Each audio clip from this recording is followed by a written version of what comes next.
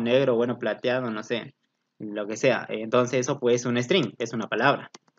Lo vamos a definir como color, ¿sí? Y también vamos a agregar eh, el precio. El precio lo vamos a definir como es dinero, vamos a definir doble. Porque a veces te cobran hasta los centavos, ¿vieron?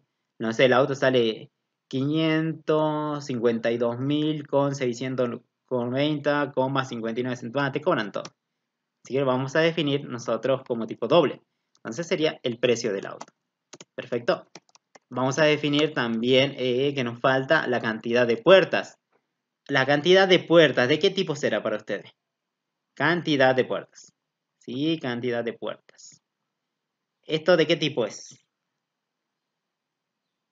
Ya te digo, puede tener tres puertas, puede tener cinco, creo que de ahí no tiene más, creo, los autos. Y esto es un número, ¿que no? Un int, perfecto. Esto es de tipo entero, de ahí se saca, ¿vieron? Piensen en la vida real cuáles serían los valores y de ahí van a sacar. Y esto le vamos a poner cant y fíjense que yo le pongo la segunda palabra puerta. Junto, no pongan espacio, ¿no? Porque ahí ya está error, son dos atributos ahí. Es como que se confunden ahí. Todo junto, ¿sí? Si son dos palabras, la primera en minúscula y la segunda ya la pueden poner la primera en mayúscula. ¿Sí? Pero generalmente los atributos van todos en minúscula. ¿Sí? Si fuera una sola, ¿no? Una sola palabra en minúscula. Si fueran dos palabras, la primera palabra la ponen en minúscula, la segunda cuando empieza va en mayúscula al principio. Can puertas, por ejemplo. O cantidad de puertas si quieren poner más completo. Bien, ahora, eh, estamos bien, perfecto. Ahora vamos a crear los constructores. ¿Se acuerdan cómo crear los constructores? Era clic derecho después de los atributos. Y vamos a darle aquí a source. En source. Y vamos aquí dice generar constructor usando los files. Using file. Bien. Hacemos clic. Yo primero voy a crear un constructor vacío, por tanto todo esto tiene que estar destildado, o sea, no le, no le tilden a nada. De aquí, fíjense que todo esto tiene que estar destildado. Ahí está. Esto sería un constructor vacío. Acuérdense la clase anterior ya habíamos visto que si uso el constructor vacío, el objeto se inicializa cuando se crea vacío, con atributos vacíos o valores nulos que le da por defecto. ¿Puedo crear más constructores, Cristian? Sí, por supuesto.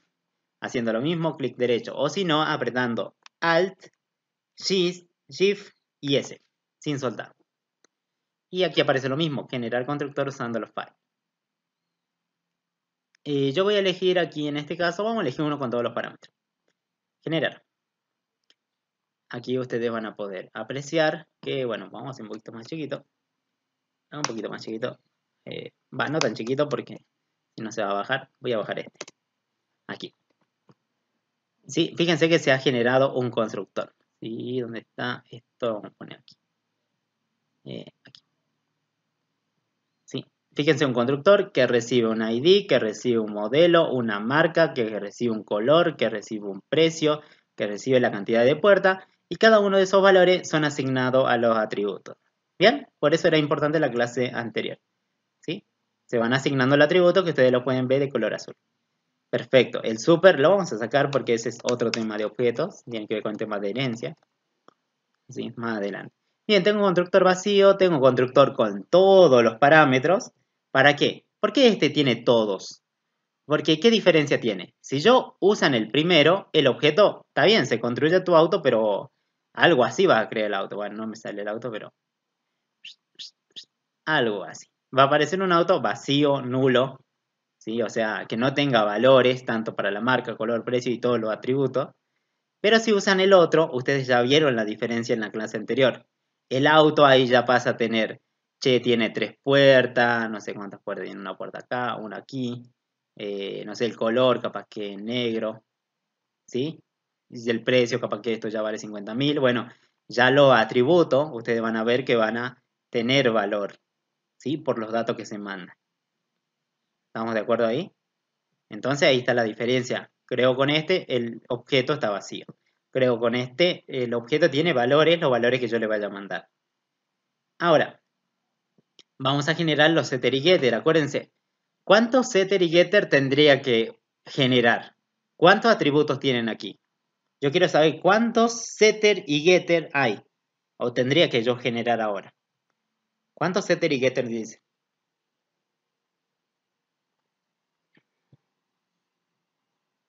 Bueno, acá yo vemos 6, ¿no? 6, ahí dicen 6.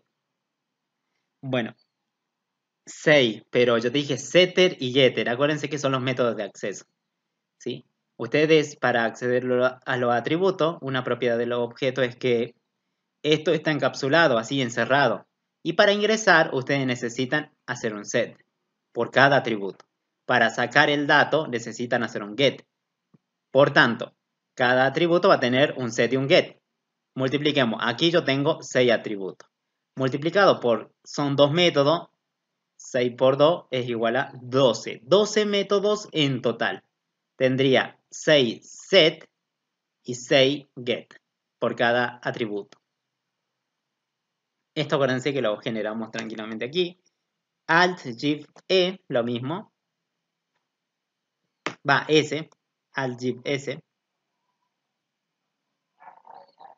O si no, clic derecho. Source.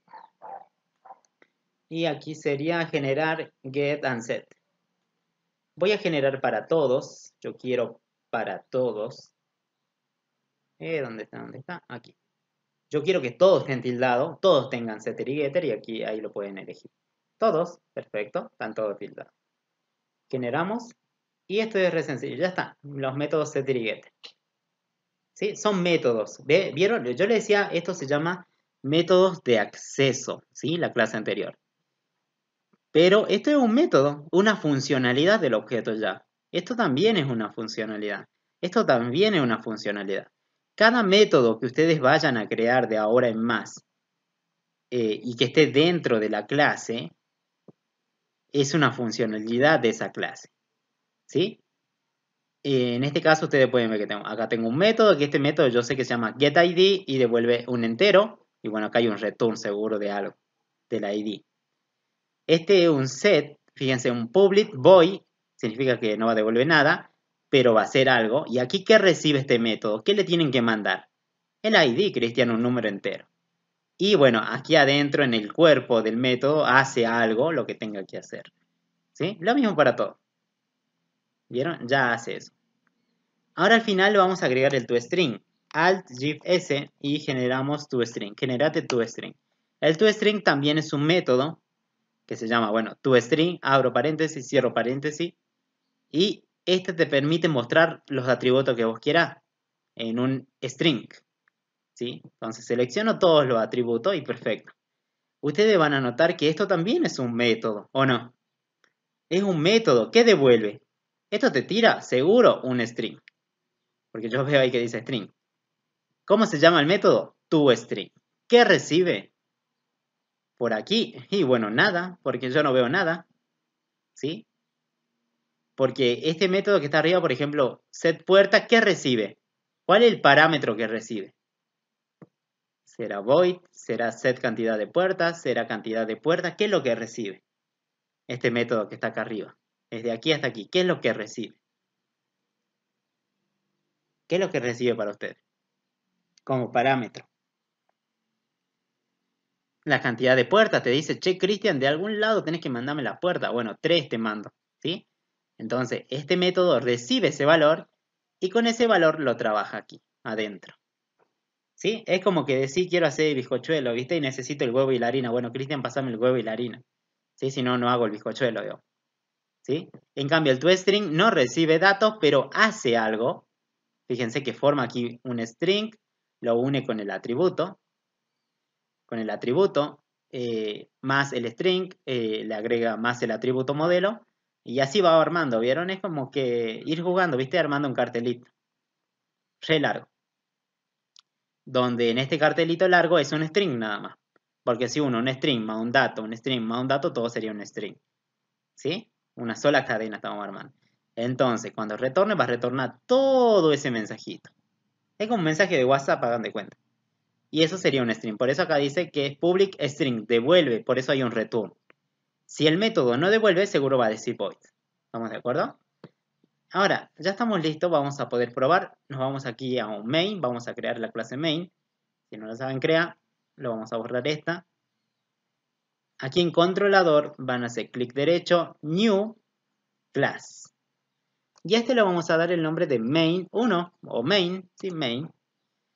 Pero aquí vamos a activar public static void main, que tenga ese método main. ¿Sí? Lo que ustedes venían trabajando siempre. ¿Por qué tiene este método? Para que yo pueda correr la aplicación. ¿Sí? El método main lo tiene. ¿Vieron que este es una clase? No sé si se dan cuenta que es una clase. Public class main se llama la pelotita. La clase. Pero dentro ya tiene un método. Este es un método. ¿Por cómo me di cuenta? Dice public void. ¿Sí? Ya está. Ahí me di cuenta que un método que no devuelve nada se llama main.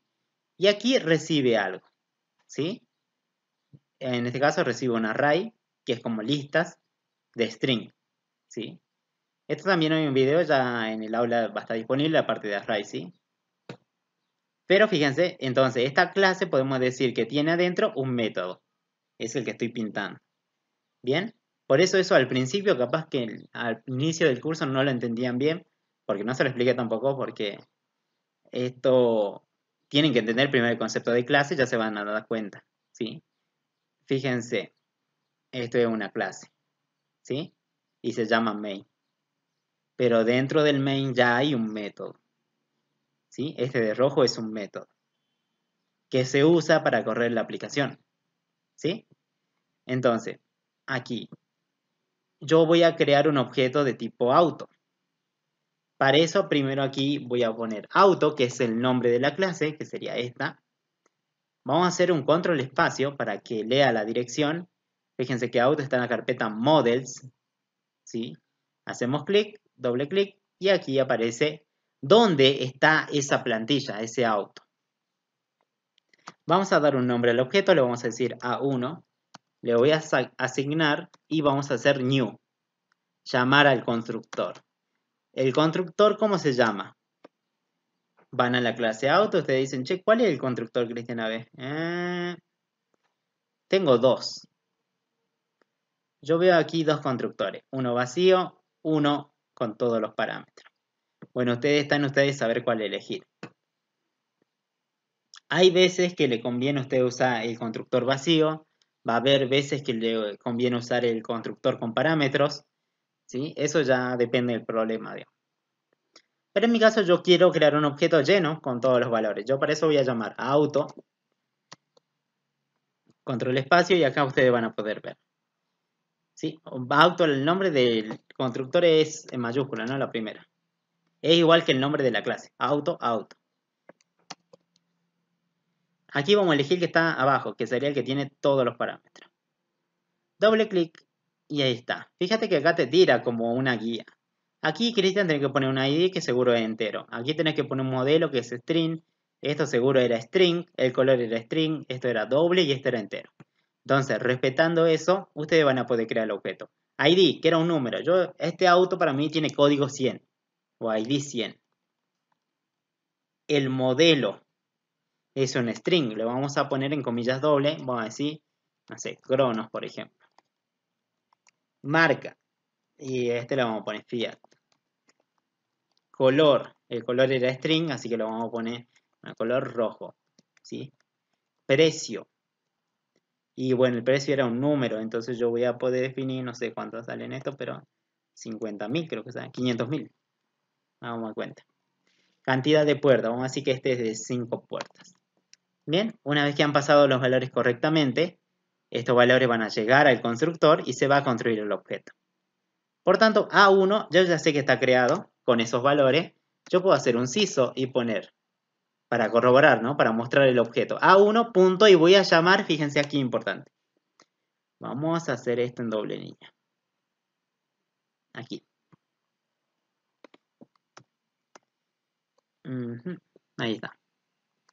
Fíjense que para la parte de izquierda yo tengo el auto, el modelito. Y para la parte derecha yo estoy probando, ¿sí? Ya con un objeto que estoy creando. Fíjense que yo he creado mi objeto que se llama A1. ¿sí? A1. Este es mi auto. ¿Sí? Y aquí yo digo, bueno, hace un CISO del auto, mostrame el auto. Pero el auto, tengan bien en cuenta, estamos hablando de este, esta es la clase de métodos, así que fíjate, el auto seguro va a tener todo lo que tiene aquí adentro. Fíjate que auto, donde está aquí, esta clase, este objeto que se llama